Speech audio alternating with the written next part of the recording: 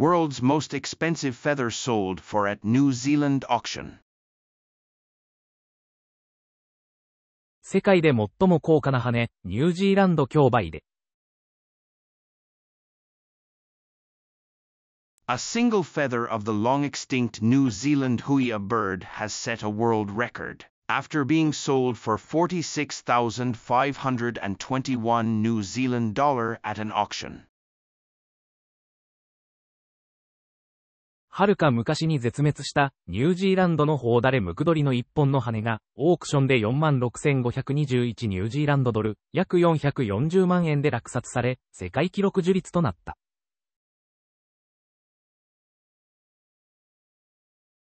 expensive. Feather. Be sold for dollar at auction.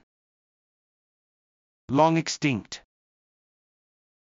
Puya bird? Set a world record エクスペンシブは高価な値段が高い費用がかかるという形容詞。時に贅沢なというニュアンスでも使われる語です。ワールズモストエクスペンシブで世界で最も高価なということですね。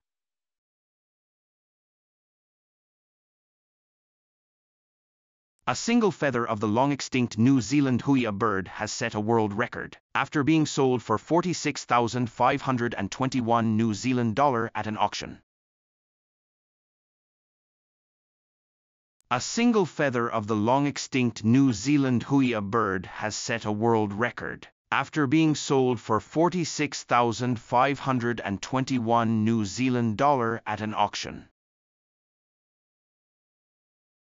英文の文法や構文を LINE で解説しています。ぜひ LINE 登録をお願いします。URL は概要欄に記載しています。